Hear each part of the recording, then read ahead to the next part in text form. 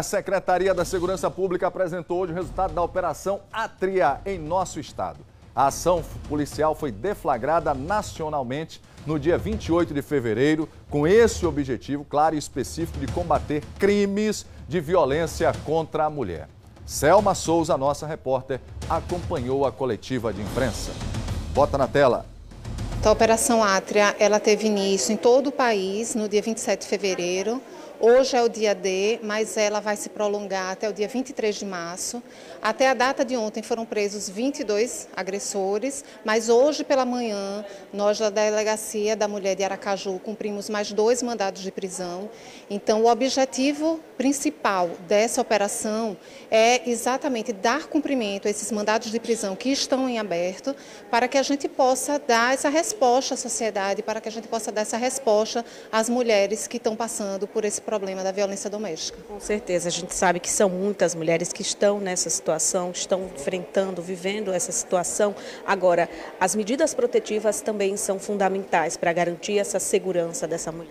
É, o, a medida protetiva é um instrumento primordial no combate à violência doméstica. Hoje em dia, passados 17 anos da implementação da Lei Maria da Penha, a gente não consegue vislumbrar o combate à violência doméstica sem o, utilizar a medida protetiva.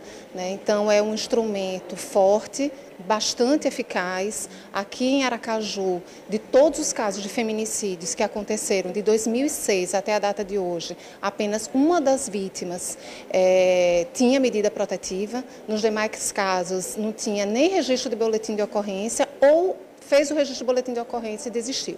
Então, quem sofre com a violência doméstica tem que denunciar, tem que procurar a delegacia para que a gente possa tomar essas providências o quanto antes, porque é dessa maneira que a gente vai poupar essas vidas. Com certeza. Importante a gente destacar também, delegada, da participação popular, porque passou essa época de que briga não se mete a colher, briga de marido e mulher, o problema não é meu. Isso é um problema de sociedade, de fato. A gente tem esse papel, tem esse dever de denunciar. Sim, é, esse tipo de violência é responsabilidade. O combate desse tipo de violência é de responsabilidade de todos todos nós.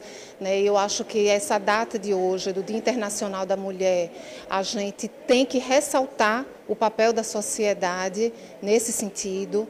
É, felizmente, a gente vem observando um crescimento de denúncias feitas por terceiros desde a pandemia as pessoas estão se engajando mais e é necessário que a gente divulgue isso e peça realmente o apoio das pessoas, porque com certeza essas pessoas que denunciaram, que vêm denunciando é, a violência contra a mulher, que é uma violência acontecida normalmente em um ambiente restrito, de uma forma é, longe de testemunhas, longe de, de, de testemunhas oculares, né?